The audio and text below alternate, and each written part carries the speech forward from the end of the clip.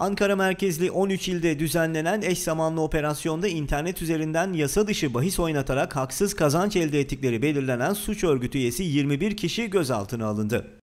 Ankara Siber Suçlarla Mücadele Şube Müdürlüğü ekipleri yürütülen soruşturmada 7258 sayılı futbol ve diğer spor müsabakalarında bahis ve şans oyunları düzenlenmesi hakkındaki kanuna muhalefet ettikleri belirlenen suç örgütüne yönelik 13 ilde eş zamanlı operasyon düzenledi.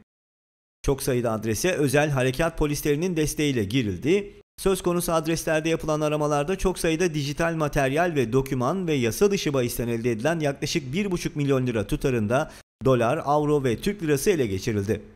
Operasyonda aralarında örgütün üst düzey yöneticisi Ü'de, yabancı uyruklular ve 18 şüpheli toplamda gözaltına alındı. Gözaltına alınan şüphelilerden birinin bir televizyon kanalında programcı olduğu ve örgüte ait şirketlerin birinde hazine müdürü olarak görev yaptığı da belirtildi. Ele geçirilen dijital materyal ve dokümanları inceleyen polisler örgütün yasa dışı bahis siteleri üzerinden elde ettikleri ve paravan şirketler aracılığıyla yurt dışına çıkardığı paranın yıllık 340 milyon doları bulduğunu belirledi. Ayrıca örgütün üst düzey yapılanmasında yer alan kişilerin değeri 105 milyon lira tutarındaki Türkiye'deki mal varlıklarına el konulduğu, gözaltına alınan zanlıların emniyetteki işlemlerinin sürdüğü ve soruşturmanın devam ettiği belirtildi.